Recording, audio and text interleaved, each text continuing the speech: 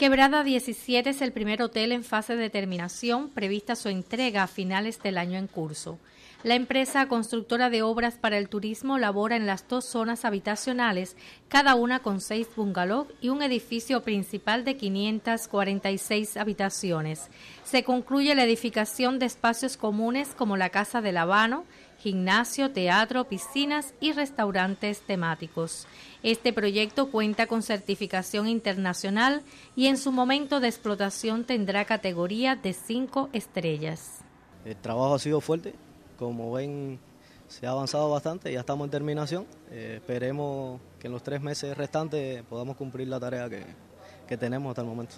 El desarrollo turístico al norte de Camagüey tiene financiamiento 100% cubano y además de los hoteles incluye la construcción de inmuebles para la infraestructura de aseguramiento, almacenes, lavandería, comunicaciones, obra de generación eléctrica, la reparación del pedraplén que enlaza a Higüey con Cayo Cruz y sus 12 puentes. Quedó devastado después del huracán Irma, eh, la base quedó en el suelo, eh, las obras con terceros, que son las que llevan inversionistas, quedaron destruidas, las que estaban en primera fase.